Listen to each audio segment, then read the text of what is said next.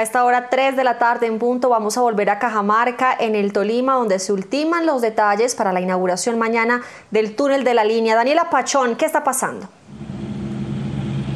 Catalina, televidentes, este es el intercambiador vial Bermellón, se conoce así, ubicado en Tolima. Y lo que está pasando a esta hora es que se están ultimando los detalles para la entrega oficial del túnel de la línea.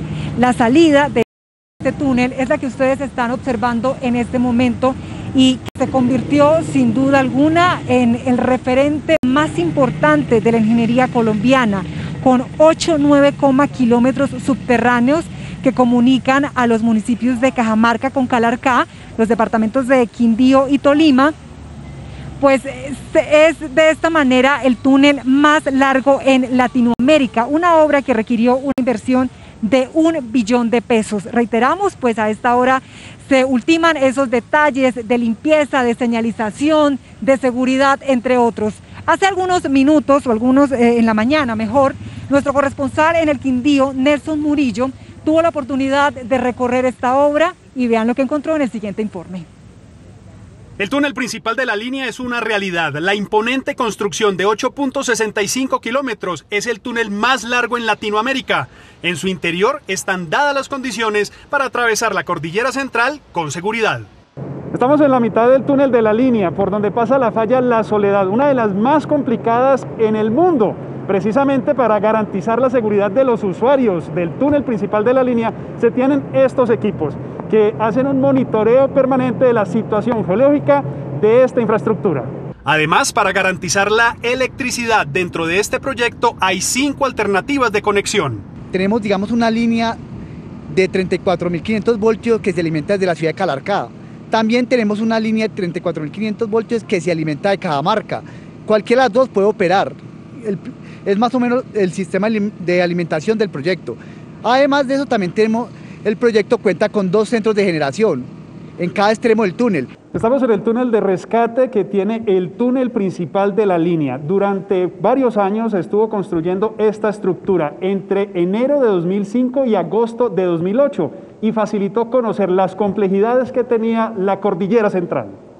James Hernando Aguirre es transportador, lleva 12 años viajando por esta vía. En los últimos días ha pasado a través del túnel y su satisfacción es evidente es una sensación de alegría, es algo que verdaderamente no se puede, no puede uno explicar, porque después de sufrir tanto eh, atravesando lo que es la, línea como tal, ya pasar a, recuperar tanto tiempo con el túnel es algo muy bueno. No, es un proyecto para que todos los colombianos lo conozcan.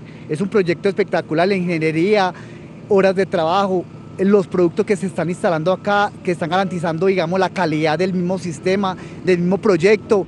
Este orgullo nacional se entrega con una estructura de 8.65 kilómetros, tres túneles más, cinco puentes, dos intercambiadores viales y 13.4 kilómetros de doble calzada entre Cajamarca y Calarcá. De hecho, por la entrega, la vía estará cerrada desde esta noche a las 10 de la noche hasta las 5 de la tarde del viernes 4 de septiembre para las adecuaciones finales. Como le contaban algunos ciudadanos a nuestro compañero Nelson, hay sensación de alegría, pero también tenemos que resaltar que algunos habían perdido la fe. También hemos hablado con otros habitantes y trabajadores de la zona y es que solamente este túnel, el túnel de la línea, requirió un tiempo de 11 años. Sin embargo, pues ya su obra había comenzado años atrás, desde el 2005. Los vehículos que vienen del occidente del país y que buscan llegar a la capital, a Bogotá, en este punto, en el alto de la línea, normalmente deben disminuir su velocidad a 15 kilómetros por hora. Ahora, con esta obra, podrán hacerlo a 60 kilómetros por hora y estamos hablando de una reducción en tiempo de aproximadamente 45 minutos o una hora. Además de esta conexión más rápida entre estos departamentos, Quindío y Tolima, también lo que se ha dicho, ha explicado el gobierno, es que mejoraría la comercialización de los productos, la economía, especialmente de aquellos que vienen del puerto de Buenaventura y que buscan llegar a la capital.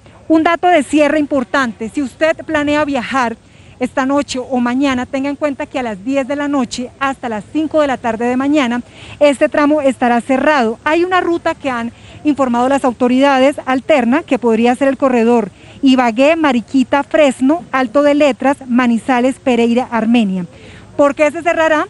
Porque terminarán todos los trabajos correspondientes a la señalización para que una vez pues finalicen sean puestas en funcionamiento. Es la información desde el túnel de la línea. Noticias Caracol.